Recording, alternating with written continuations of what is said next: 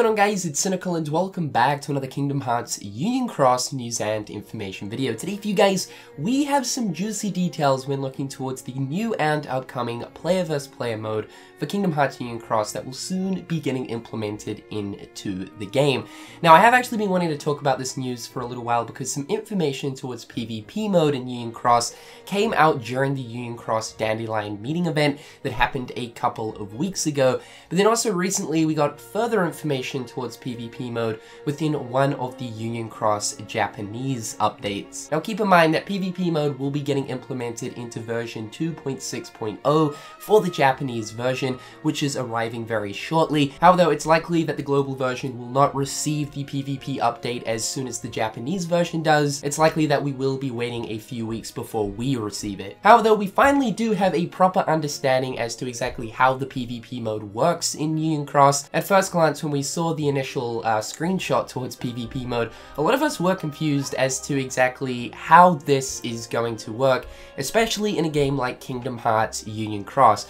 This is definitely a mode that people have been wanting to get implemented into this game. The real question is, does this work and is it fun to play? And now that we do finally have an understanding, it looks to be like this is probably the best setup for a PvP mode to actually work in this game, and it's actually looking pretty interesting. So let's read up on the details. So this right here is a brand new preview screenshot of PvP mode right here. It's extremely similar to the very first preview screenshot that we got to see for this mode. You guys will notice that there are no HP bars to be seen in the heads up display whatsoever, and this was a big aspect that a lot of us were scratching our heads over. So essentially PvP mode is a complete damage contest. The winner is determined by how much damage you can deal to the opposing player. It's kind of like a high score challenge in a sense, except you're versing another player.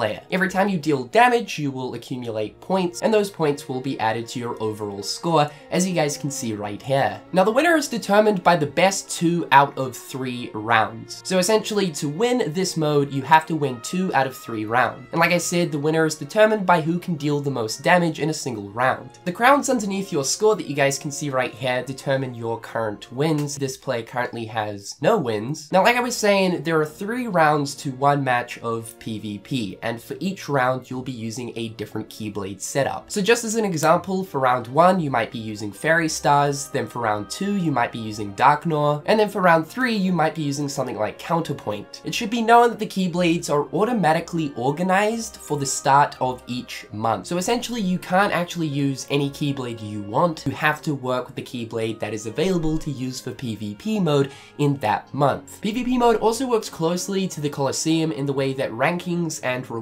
are distributed. So every single month the rankings and rewards will reset. It should also be noted that you cannot use the same medal in multiple Keyblade setups. So for the three Keyblades that you are given uh, for the month of PvP mode, you can only have that one medal on one Keyblade setup. Now this is kind of understandable to, you know, obviously balance things out, otherwise people would have like uh, Xion EX or Kairi EX at the top of all three of their setups, so this again is sort of a way of just balancing things out. Although I believe that this kind of co-aligns with the recently introduced stained glass medals. As you guys know, this is sort of the new wave of buff medals. They're not exactly the same as Xion EX or of course Kairi EX because they focus more so on buffing upright magic, reverse magic, reverse power, as well as upright power. So opposed to an all-round buff, the stained glass medals really only focus on one attribute, and because there is currently four of these bad boys available to pull, makes them a perfect fit for the PvP scenario. And also while we're on the topic of buffs, yes, buffs will last throughout turns in PvP mode, even though when you switch to a different turn, your Keyblade setup switches as well. So long as it is a buff that lasts multiple turns, yes, you will keep that buff active. And that right there is the PvP mode explained in Union Cross. So now that I actually do have a semi-watt understanding as to exactly how this mode works, I'm really, really, really excited to actually get a hands-on experience with this mode. Uh, like I was saying, the Japanese version are likely to receive this first, most likely sometime this month, and then sometime hopefully in the coming weeks after the global version will receive this update update as well. Let me know in the comment section down below guys, are you going to be getting involved in the PvP mode for Union Cross? However guys, with all that being said, I've been Cynical, hopefully you guys are having an absolutely fantastic day, and until next time guys, I'll catch you later. Peace. Hit him on the page, you'll be coming through stunning. Go in my mouth when you suckers be bluffing. Milk crank, gaming up the bitch though. Catch me in the back playing Super Nintendo.